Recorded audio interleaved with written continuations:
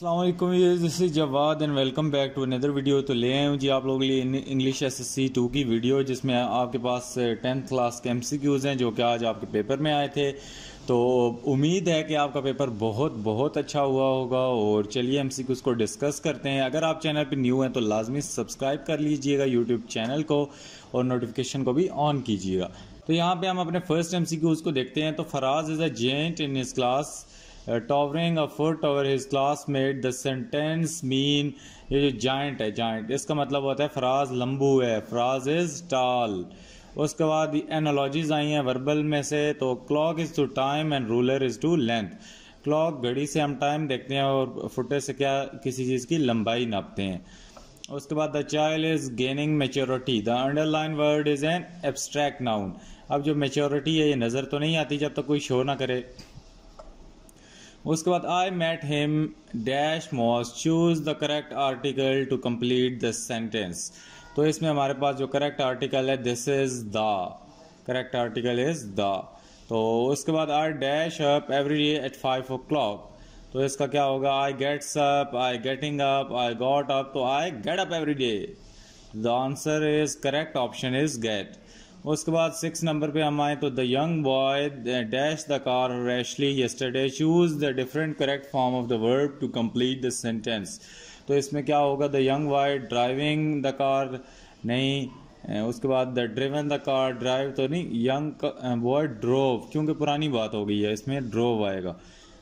उसके बाद ये हमारे पास there is little time for preparation the underline word is तो यहाँ पे देखो उसने एक किसी चीज़ में ऐड किया है, उसका हमें मीनिंग तो ये क्या हो गया? लिटल टाइम टाइम भी कह सकता था लिटल जो ऐड हुआ वो क्या एडजेक्टिव उसके बाद earth revolve around the sun and the sentence is an example of this is an example of simple sentence इस सेंटेंस में कोई ना कंपाउंड है, ना तो कम्प्लेक्स और ना ही कंपाउंड कम्प्लेक्स उसके बाद अल्लाह आगे एक्सक्लेमेशन मार्क आ गया तो यहाँ पे एक्सक्लेमेटरी हो गया. What a kind of sentence is an example of. This is an exclamatory sentence, and these mcqs are very very very easy. Tenth class में इस लेवल के एमसीक्यूज अगर ये दे रहे हैं तो दिस इज़ वेरी इजी उसके बाद she seldom ask me to help her which type of adverb is use in given sentences both adverb of frequency and time option are correct तो इसमें हमारे पास सेल्डम का मतलब होता है कभी कभार तो इससे ये ज़ाहिर हुआ कि यहाँ पे हमारे पास जो है time is correct option definitely there is no doubt in that और उसके बाद इसमें फ्रिक्वेंसी भी, शिद्दत भी इस्तेमाल हो रही है। तो definitely the both of the option are correct उसके बाद ऑप्शन नंबर 11 में the cat jump dash the chair choose the correct preposition to complete the sentence तो जम्प ऑफ़ द चेयर होगा। जम्प अबाउट तो हो ही नहीं सकता। जम्प थ्रो द चेयर भी नहीं है। बीनीथ अब नीचे तो नहीं जम्प कर सकती ना अचानक से। ऑफ़ द चेयर कुर्सी के ऊपर से छलांग लगाई।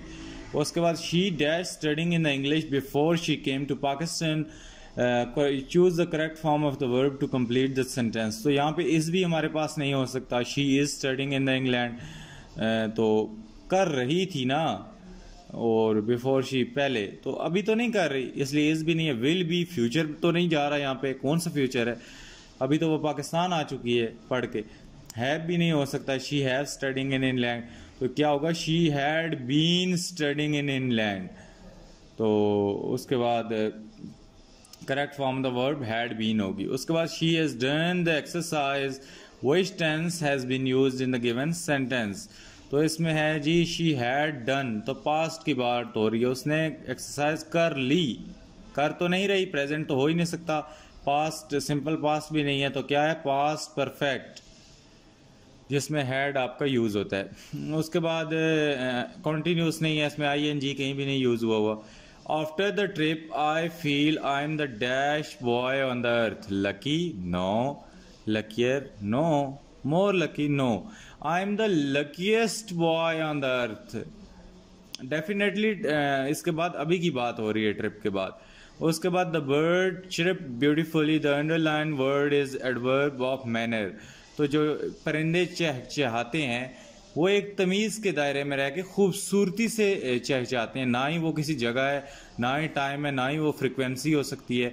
एक मैनर है उनका, एक डिसिप्लिन मैनर में वो चहचाहते हैं तो हमें उनकी चहचाहत से क्या होती है? चिड़ नहीं होती।